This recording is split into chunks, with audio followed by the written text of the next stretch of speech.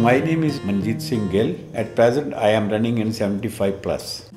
I have two kids. My daughter, is elder to my son. Their job and their profession is such they cannot have a vacation and a long spell to spend in India.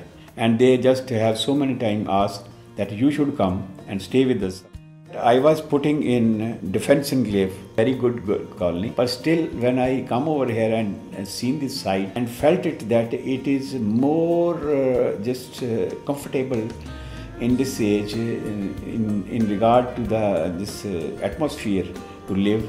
I make a mind with my wife that why we should have a big accommodation. Then we just sell our property and have the privilege of living out of the city or you can say out of the polluted area or the just a busy area of the Amritsar.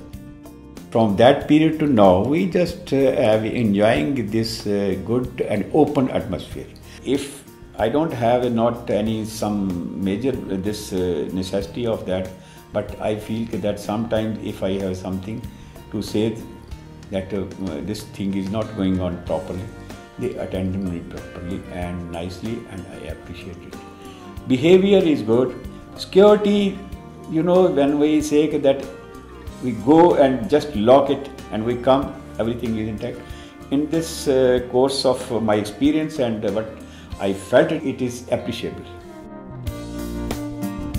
we are happy here.